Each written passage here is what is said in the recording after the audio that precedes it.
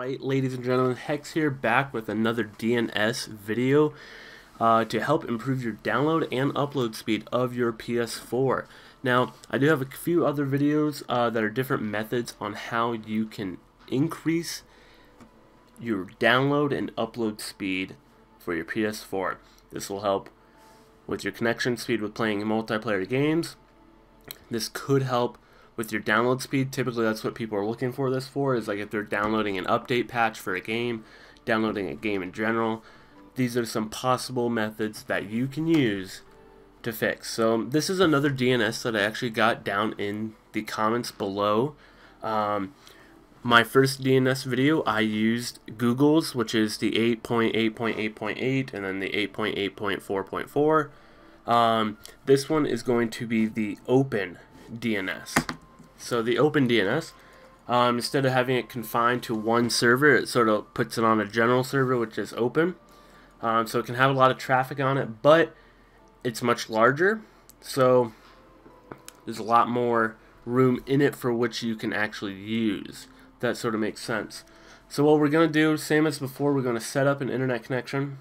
We're going to use the Wi-Fi. Uh, first, let's just do a baseline connect to mine. So we want to do this baseline first. So we're just going to do it easy, which makes the DNS normal, the zeros around the board, and MTU around the board straight at 1500. Alright, so let's test the internet. Let's see what it gives us.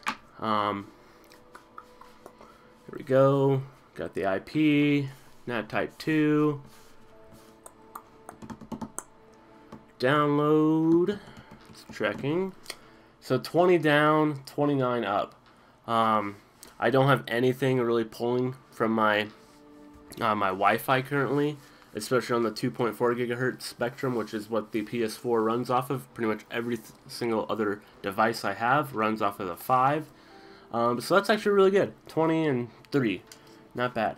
So let's go back into this.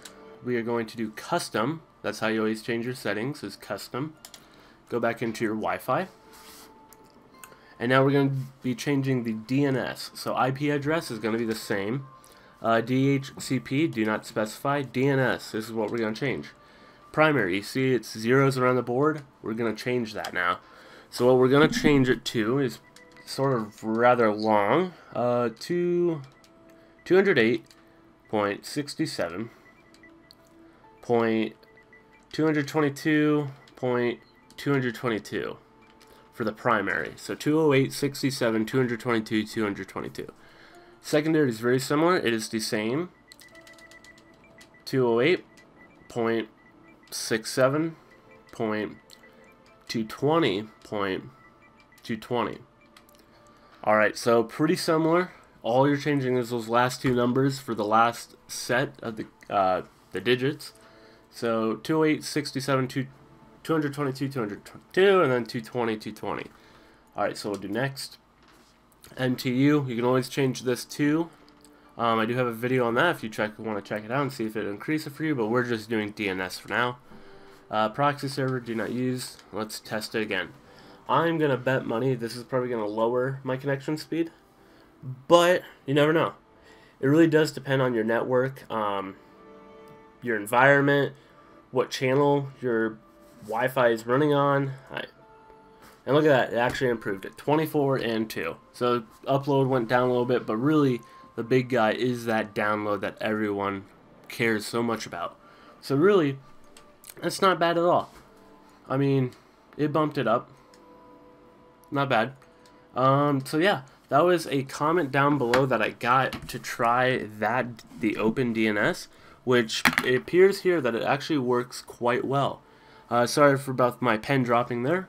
But yeah, so if you guys do, if this does help you, leave it down below. Let other people know that it helps. If it doesn't work, leave that down below too because some other people might be able to have a solution that will help.